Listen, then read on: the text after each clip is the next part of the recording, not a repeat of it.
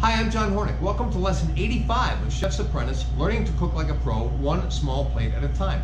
This lesson is roasted tomato pintxos with onion confit, apples, plums, bacon, and roasted garlic. This little flavor explosion makes a great passed appetizer or small plate. I call it a pintxos, which in Spain is a bite smaller than tapas. Here you will learn to roast garlic and to melt onions, which means to cook onions long and slow on low heat with a little fat such as oil or butter. The onions will become very soft and translucent, almost as if they melted. Melting the onions will yield a confit, which means to cook slowly in fat. The fat can be animal fat such as duck fat or butter, or vegetable fat such as olive oil. Confit ingredients are lusciously rich. The key to confit is patience. Keep the heat low and let the onions cook for as long as they need. This dish is not hard to make, but it has several components and steps, so I rate it as challenging. Techniques today are slicing and chopping, peeling, coring, seeding, and dicing, seasoning, prepping vegetables, roasting garlic, sweating, melting onions and making an onion confit, sauteing and roasting, and garnishing. So let's start cooking. All right, let's talk about the ingredients that we'll need for lesson 85. We're going to need about uh, six cloves of garlic, you know, medium to large cloves of garlic that have been cut into slivers and then tossed in olive oil. And they're going to be roasted in the oven in some uh, loosely wrapped aluminum foil. So I just went ahead and put them on the foil. Of course, then we'll need also some olive oil uh, so that we can toss the, uh, the, slivers of garlic in it. We're going to need to have uh, a baguette uh, cut into 16 slices about 3 eighths of an inch thick. Cut them on the diagonal. They look better that way. And uh, I'm going to cut them later, uh, closer to when I'm cooking, so that the uh, individual slices don't get um, uh, too dried out. Okay. And uh, depending on how many you're making, you may need a full baguette. I have a half a baguette there. I'm making only for four people today, but I'm giving you the ingredients that you need to make for the full description, which is eight people. Uh, we'll also need to have some Dijon mustard, and then we'll need to have um, two yellow onions that have been thinly sliced into about quarter eight quarter inch to uh, eighth eighth inch to quarter inch slice. Okay. Then we'll need to have about a half a cup of uh, chicken stock. Remember, we make our own stock in this course. Uh, there are bonus lessons on that and uh, details on my stock chart on my website, which I've mentioned a zillion times before in many lessons. We need to have about one tablespoon of sherry vinegar. Uh, we'll need to have uh, several uh, sprigs of fresh thyme, okay? And uh, then we'll also need to have uh, two anchovy fillets that have been chopped up. And we'll need to have uh, two Granny Smith apples that have been cut into a, a quarter inch dice, very small as you can see, okay? Two Granny Smith apples. And uh, now they're, you know, after they've been chopped, they're going to start to turn color. Uh, Granny Smiths won't turn as quickly and as much as other types of apples. That's why I'm using the Granny Smiths. But these are going to be cooked anyway, so we don't really have to worry about the color turning too much. We'll also need to have um, two uh, plums, I'm sorry, four plums. Two Granny Smith apples that have been peeled and diced, and four plums that have been peeled and diced. Same size dice, about a quarter of an inch, okay? Then uh, we will need to have um, three or four slices of bacon that have been cooked but not crispy. So cooked through but not crispy. Then blotted dry, then cut into one inch pieces, okay? All right. Then uh, we'll need to have um, three or four, I'm sorry, five or six plum tomatoes or Roma tomatoes, cut off the ends, and then cut a total of 18 slices like this that are about, oh, quarter of an inch thick, okay? And then they've been tossed in olive oil and uh, uh, dusted with um, salt and pepper, okay? Then we'll need to have about one tablespoon of freshly chopped chives. I have a whole lot more than that here. Just use what we need. And a uh, pepper mill with, so we can do freshly ground black pepper. And uh, also some kosher salt. Okay, that is all of the ingredients. We'll break, I'll come back and I'll show you the equipment for lesson 85. Oh, I left out one ingredient. We'll also need to have one uh, small to medium yellow onion that has been uh, cut into a uh, eighth inch to quarter inch dice. Okay, that's all the ingredients. Now we'll come back and go over the equipment. Okay, the equipment for lesson 85. You're gonna need a cutting board and your trusty chef's knife. You also need to have a uh, bread knife or a serrated knife to uh, slice the baguette. You need to have a peeler to peel the apple and the plum. Uh, you'll need to have some foil to roast the garlic. Now I showed you this earlier. The garlic's already in there. I made a little packet out of it. And uh, it'd be helpful to have a sizzle plate for it to sit on so you can take it in and out of the oven easily. You need to have a saute pan to melt the onions and to um, cook the uh, apples and plums and onions. And a uh, wooden spoon to go with that. Uh, two small mixing bowls, one to hold the onions after they've been melted, and right now I have the uncooked onions in the bowl, so I'm just going to use the same bowl, and a, um, a bowl to hold the fruit and onions, uh, the chopped onions, after they've been cooked, and right now I have the plums in one of those bowls, I'm just going to use that bowl again. You'll need to have some brown paper so that when, after you cook the bacon, you can drain it on the brown paper. And we'll need to have a sheet pan and brush. We're going to brush the sheet pan with some olive oil.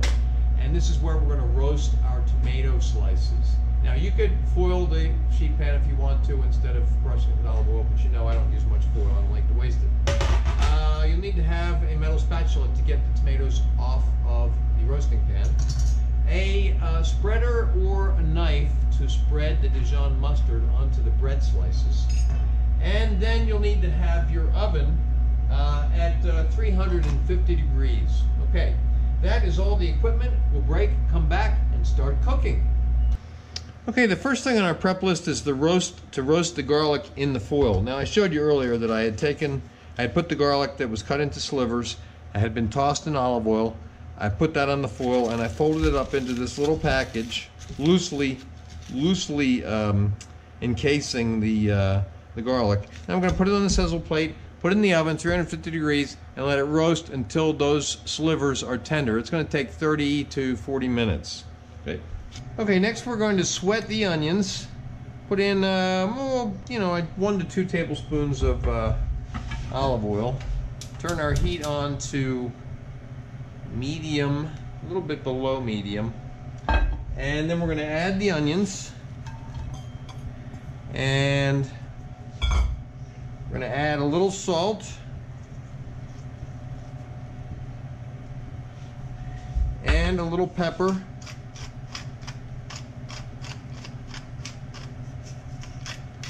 And then we're going to stir them up a bit, get, the, get them coated. And then I'm going to add the thyme sprigs, okay? And uh, I tied them with a piece of string to make it easier to get them out. You don't have to do that, but it does make it a little easier and we're going to let those sweat. And after they sweat we're going to turn the heat down a little bit lower and let them cook low and slow and melt.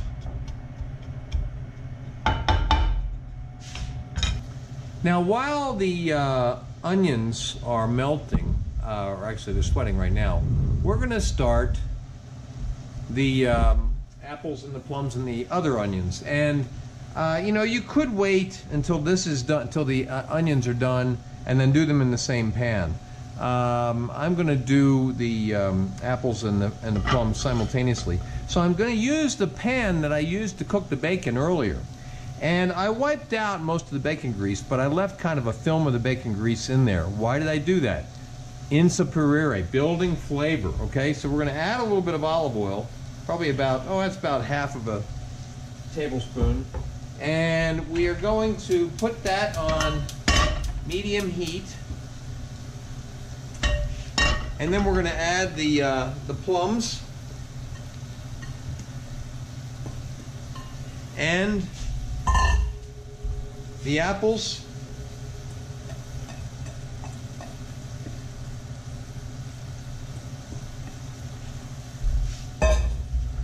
And the chopped onions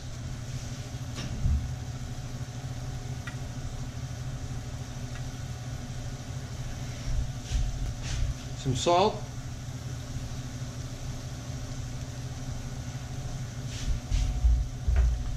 some pepper,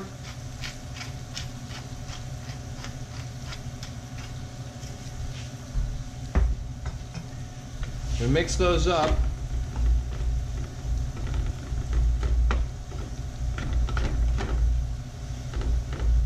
And we're going to let these sweat. Stirring occasionally. Don't want them to burn. Don't want them to brown.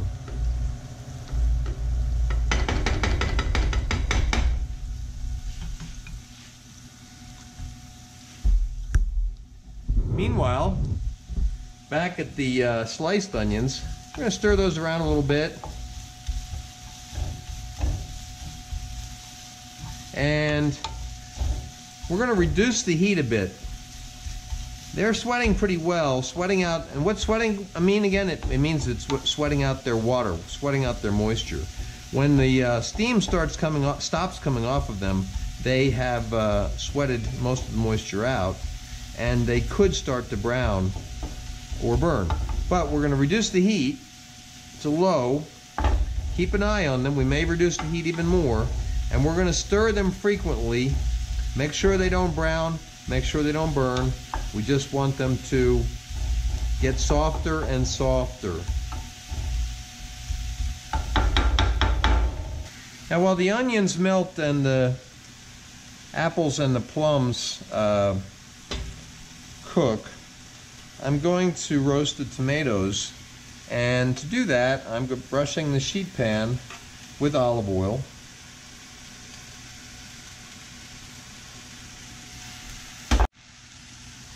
Now we're going to lay out the, uh, the tomatoes. Remember, the tomatoes were tossed in olive oil and um, they were seasoned with salt and pepper.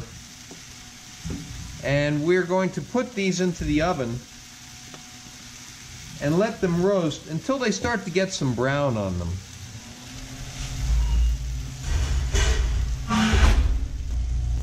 All right, now our onions have been going for probably about 10 minutes and uh, they're melting nicely. Uh, they're getting kind of a yellow, olive oilish color to them. Um, lighter, lighter yellow than olive oil actually. And our, um, our fruit and onions, that's looking good. Coming together kind of looking, looking like a salsa, right? All right, we're gonna keep cooking those probably 5, 10, 15 more minutes. Just depends on how they look. And they're on low heat. Okay, so you can see that our onions have melted very nicely. Uh, they are, um, they've, they've, reduced in volume quite a bit because all the moisture, pretty much uh, all the moisture is gone, okay? Okay, here is our, um, our garlic. Uh, some of it is browned, uh, some of it has not. It's been in there about 30 minutes and it looks just about right. Some of the pieces are a little crispy, some of them are soft. That's exactly what we're going for. Now we're gonna take these out, let these cool. Next, we're going to deglaze the onions with the chicken stock and about a tablespoon of um, sherry vinegar. I'm gonna put that on um, medium heat because we want the uh, chicken stock to, um, to reduce.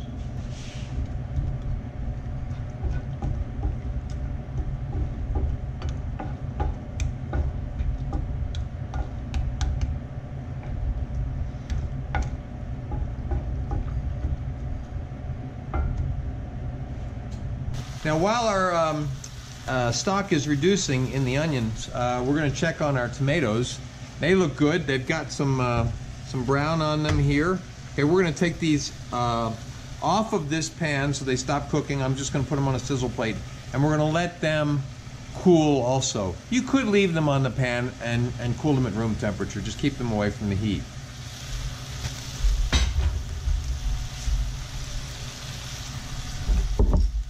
Now our onions are looking good. The stock and the uh, sherry vinegar is reducing nicely. We're to let them go just a little bit longer till they get to be a little bit more golden.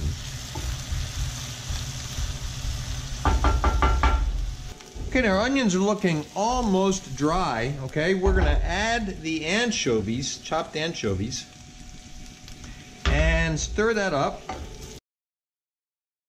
And then we're gonna let this cook just a little bit more until these onions are just wet.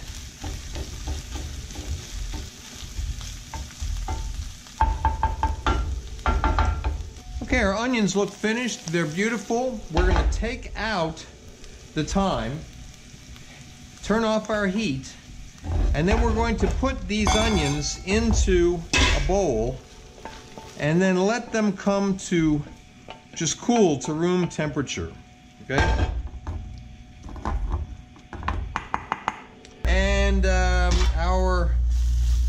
Fruit has also reduced quite a bit because most of the moisture is gone and the, um, the apples, the plums, and the onions have formed kind of like a salsa, and they've taken on a very nice color. And um, we're also going to take that off the heat, and we're going to let that cool to room temperature. All right, now we're about to start the plating process. First thing we're going to do is um, we're going to spread a little bit of Dijon mustard on each one of our slices of bread.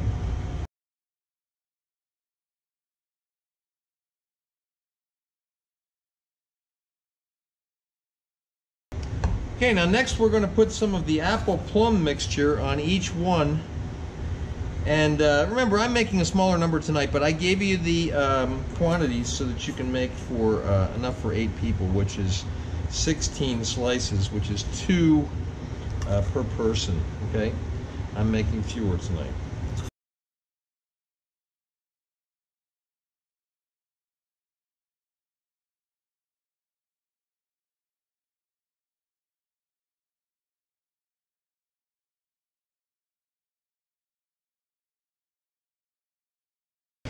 Next is the uh, bacon. I'm going to put two slices, I mean two pieces on each one. Next we're going to put some of the onion confit on top of each one.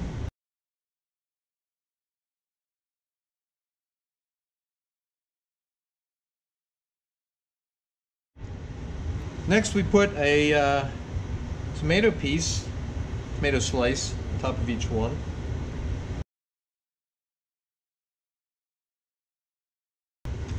Then we put some of the garlic slivers top of each one.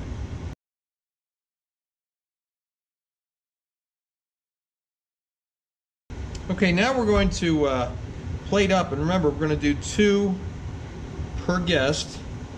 And I put them on the plate before I do the final garnish of the chives because I want the chives to show up on the white plate as well as on the uh, pintxos themselves, okay? So that's it. That's lesson 85. Roasted tomato pintxos with onion confit, apples, plum, bacon, and roasted garlic. You can see photos of the final dish at my Instagram, which is at Chef's Apprentice, Cook Like a Pro. Next up is ricotta mascarpone gnocchi with lobster and morels. Please remember to subscribe to my channel and thanks for watching.